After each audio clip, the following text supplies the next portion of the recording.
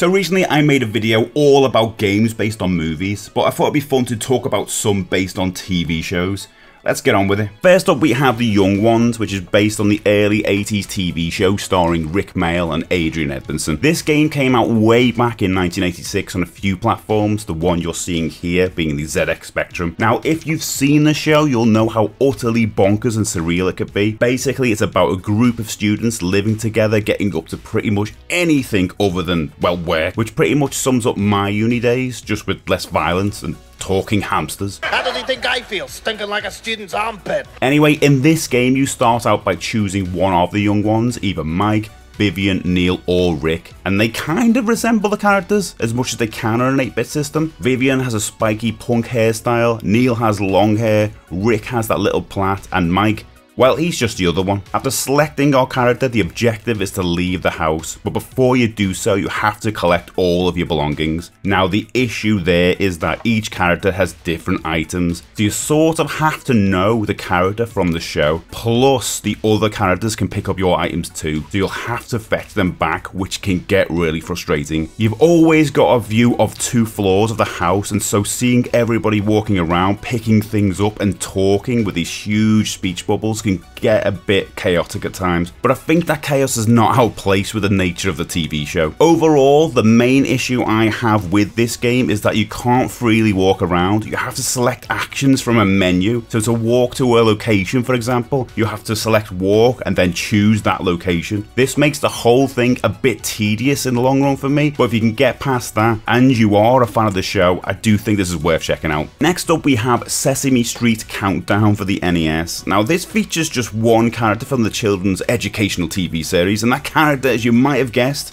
is the Count. In Sesame Street, the Count is basically responsible for teaching kids about numbers. There's no blood sucking or avoiding sunlight, so why is he called the Count? I am the Count. They call me the Count because I love to count things. That's why. So in this game, playing as the Count, you start off each stage by spinning a wheel of numbers. Once a number has been selected, you have to look for anything in the stage that equals that number, and that number can literally just be floating in the air or appear as a batch of items equal to it. You have to collect this number a bunch of times before you can continue on to the next stage, but if you somehow manage to get a lot of these wrong, you'll have to start again. You can also collect lightning bolts that will give you one of these numbers for some reason. If that's not enough of a draw, you can also find balloons in the stage which will take you to mini games that grant you a number as a reward for your collection. Now I say game lightly here as they tend to be a super simple maths or pattern recognition problem. Remember, this is for kids. A couple of things I quite like about this game is that the count looks really good and he animates well. I love the fact he can look up, which might sound really silly to say, but many characters in games don't bother having this state. Also, I'm pretty impressed with his amazingly clear digitized speech. You'll hear him call out the numbers as well as his memorable laugh throughout the game, and it's absolutely charming. So overall, it is a kid's game, so it's super simple.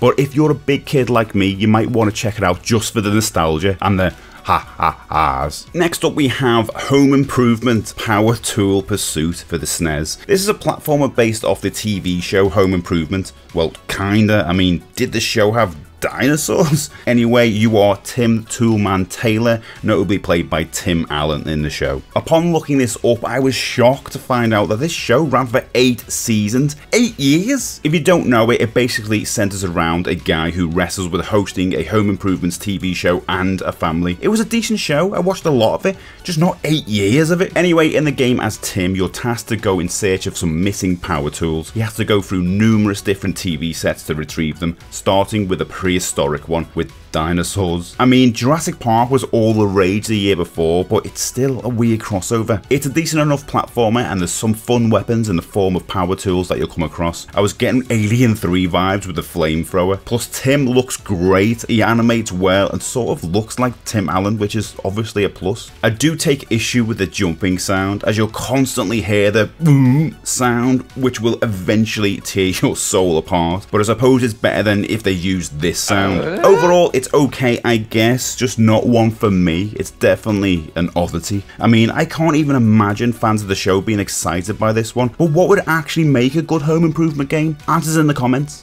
Next up we have Benny Hill's Madcap Chase for the ZX Spectrum. It's loosely based on the Benny Hill show which ran from 1969 to 1989 and in this game you of course play as Benny Hill. The show consisted of comedy sketches and mostly innuendo from what I can remember anyway. I mean, when I think of Benny Hill, the first thing that popped into my head is him being chased by scantily clad women, which leads us onto the game. In the game, as Benny, who looks great, although very Simpsons like, I do like his little red beret, you have opted to help his neighbour out by bringing in a washing. On the way to the washing line, you must navigate through different obstacles, which basically involves you moving up or down past objects objects in the fore or background. If anybody spots you with the washing, they'll chase you just like the show. But in this scenario, if they catch you, they'll jump up and down on you and the item will be returned. The issue here is that Benny is on a timer, so you have to be quick. The other stages in the game are similar, basically just collecting and returning items without getting caught. Now, if this style looks familiar, it's because the game was actually programmed by the same guy who made Popeye and Trapdoor, games which also had huge character sprites. And I think it looks great as the style really stands out. I actually quite like the movement of Benny in this too, his little run does make me laugh.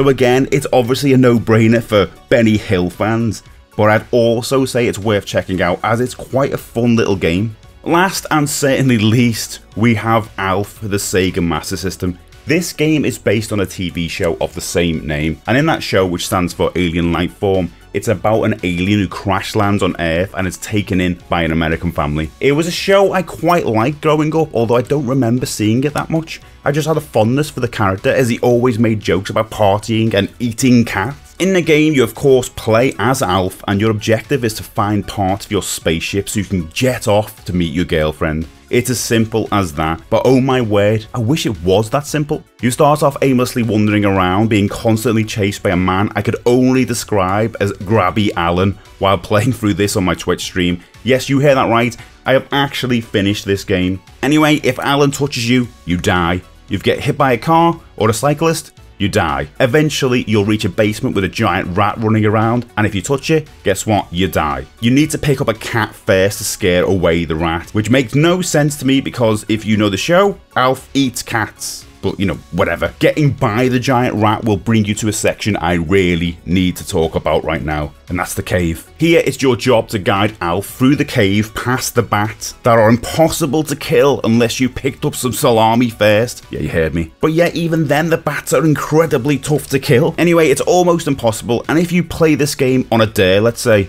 You'll spend most of your time here because when you eventually do it, you've got to do it again, but even longer next time. So what I'm saying here, if you haven't got the vibe yet, is this is not a recommendation. Do not play Alf. And that's it. Let me know in the comments of any other TV related video games you want to talk about. And until next time, watch one of these videos. Go on.